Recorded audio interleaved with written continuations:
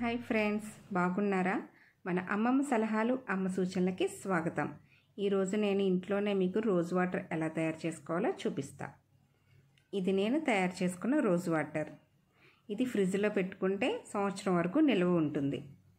దీంతో face packs అన్నీ వేసుకోవచ్చు. అంటే వాటర్కి బదులు రోజ్ వాటర్ ఉపయోగించుకొని మనం ఫేస్ ప్యాక్స్ అవి వేసుకుంటాం కదా అలా ఉపయోగించుకోవచ్చు. ఇది నేను ఈ రోజ్ వాటర్తో తయారు చేసుకున్న ఫేస్ క్రీమ్ అండి ఇది. ఇంట్లో తయారు చేసుకుంటాను. ఇదేమో బాడీ లోషన్. ఇది కూడా నేను ఇంట్లోనే తయారు చేసుకున్నాను. ఇదే రోజ్ వాటర్ వేసుకుని. ఈ రోజ్ వాటర్ వేసుకోవడం వల్ల ఏంటంటే చాలా స్మూత్గా ఉంటుంది మన స్కిన్ చాలా గ్లోగా షైనీగా కూడా అనిపిస్తుంది. చాలా స్మూత్గా కూడా ఉంటుంది. ఈ రోజ్ వాటర్ ఎలా తయారు చేసుకోవాలో నేను మీకు చూపిస్తాను. ఇందులో స్మెల్ రావడం కోసం నేను ఎలాంటి ఫ్రేగ్రెన్స్ ఆయిల్స్ కానీ కలర్స్ కానీ ప్రిజర్వేటివ్స్ కానీ ఇందులో నేను కలపలేదు. ఇది ప్యూర్గా తీసిన రోజ్ వాటర్. మీరు కూడా ఇంట్లో ఇది ఇలాగే చేసుకోండి. ఇందులో ఏది కలపొద్దు. కలపకుండా ఉంటేనే మన స్కిన్కి చాలా బాగుంటుంది.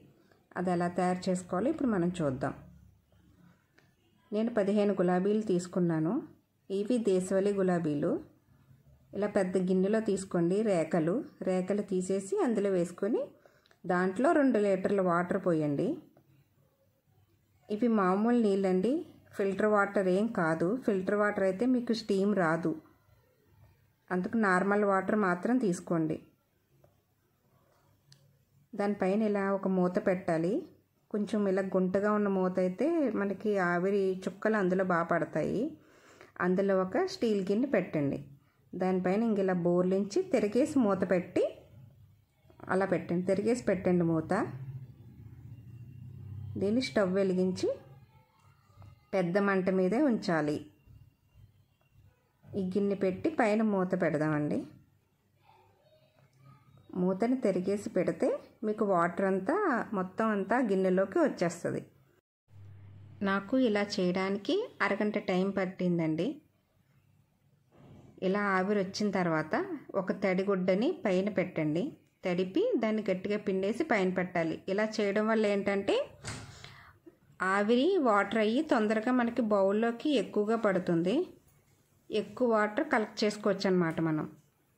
ఇలా పెద్ద వంట మీద ఉంచండి. చూసుకుంటూ ఉండండి. మళ్ళీ మాడిపోతుంది గిన్నె. స్టవ్ ఆఫ్ చేసి ఆ పైన ఉన్న గుడ్డ చాలా జాగ్రత్తగా తీసి పక్కన పెట్టండి. లేదంటే చేయి కాలుతుంది చాలా వేడిగా ఉంటుంది. ఇప్పుడు మూత తీసి చూద్దాం. వాటర్ ఎంతవరకు వచ్చిందో. ఇది అరగంట తర్వాత అండి ఇది.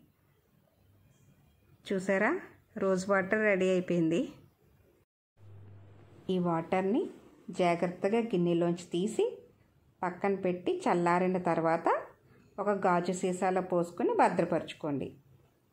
ఇది ఫ్రిడ్జ్లో ఉంటే సంవత్సరం వరకు పాడవకుండా అలానే ఉంటుంది. నా ఈ వీడియో కనుక మీకు నచ్చినట్లయితే లైక్ చేయండి షేర్ చేయండి సబ్స్క్రైబ్ చేయండి.